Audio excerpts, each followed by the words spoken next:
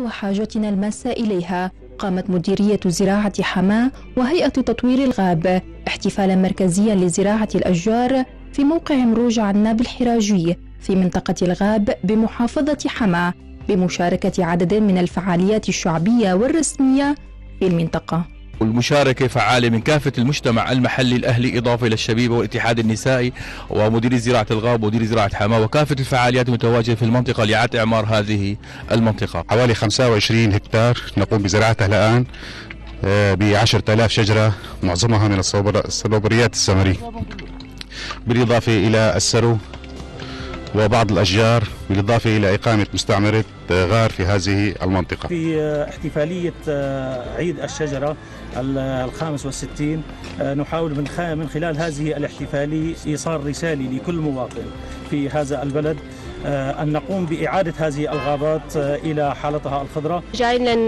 نعمل حملة تشجير لنحافظ على الثروة. تركنا إياها أجدادنا لأنه هي المنطقة تعرضت للحرائق. كما قامت محافظة السويداء حملة تشجير بقرية سهوة بلاطة داخل القرية ومحيطها لزراعة كل المساحات الفارغة ردا على القطع الجائر لأحراج السويداء.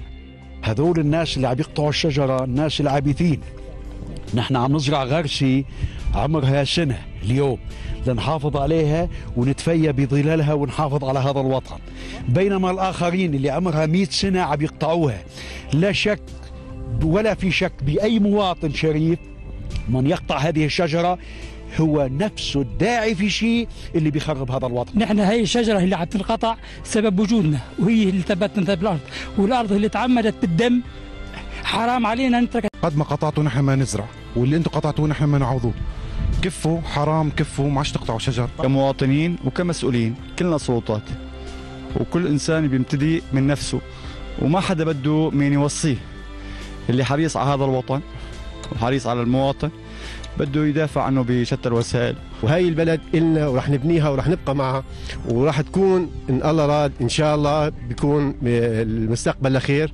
وبهي الهمم الموجودة اللي بتبشر بالأمل وبتبشر بالعطاء أكيد رح تكون سوريا لخير إن شاء الله. اللي عم يقطع شجرة عم يقتل بني آدم.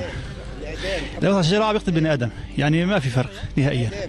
حملات واسعة بدأت وما زالت مستمرة في عدة مناطق ومحافظات سورية لإعادة تشجير ما تم قطعه والحفاظ على ثروات ومواطن الجمال في البلاد.